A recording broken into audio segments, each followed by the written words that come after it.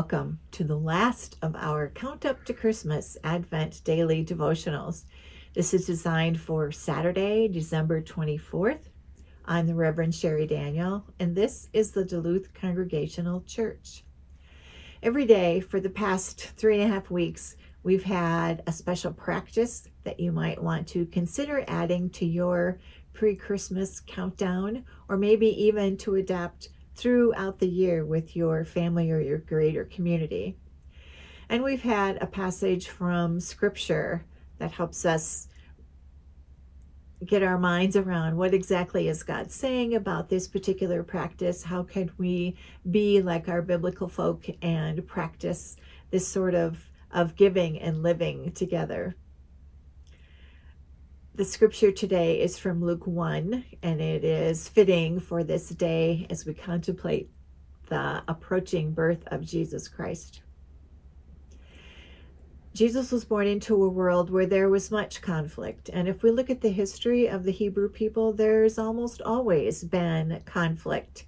There's been wars, there have been internal conflicts. When Jesus was born and began his teaching, people who chose to follow his way of a slightly expanded um, understanding of the scriptures also had conflicts with, within their families and within their communities at large.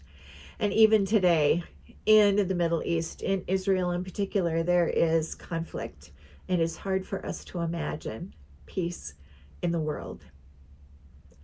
The passage is this from Luke 1 26 through 38 the nugget being nothing will be impossible with God.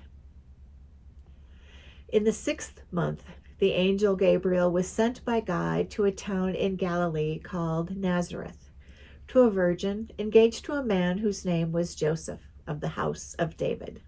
The virgin's name was Mary.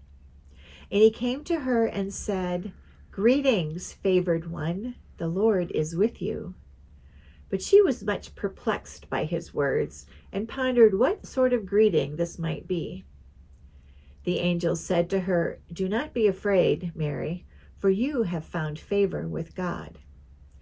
And now you will conceive in your womb and bear a son, and you will name him Jesus. He will be great and will be called the Son of the Most High, and the Lord God will give him the throne of his ancestor David he will reign over the house of Jacob forever, and of his kingdom there will be no end. Mary said to the angel, How can this be, since I am a virgin? The angel said to her, The most holy Spirit will come upon you, and the power of the Most High will overshadow you. Therefore, the child to be born will be holy. He will be called Son of God. And now your relative Elizabeth, in her old age, has also conceived a son. And this is the sixth month for her who is said to be barren. For nothing will be impossible with God. Then Mary said, Here am I, the servant of the Lord. Let it be with me according to your word. Then the angel departed from her. And then the work began. Of course, she was engaged to Joseph, but Mary had some explaining to do. And an angel of God also appeared to Joseph in a dream to help explain how she became pregnant, even though they were not together. Conflict can be small, can be great. Our prayer today is for peace in the whole world. What can we do to bring peace in our hearts, peace in our families, peace in our communities, peace in the world at large. What we can do is one little thing at a time. Let us pray. Oh God, your will is that there be peace on earth as it is in heaven.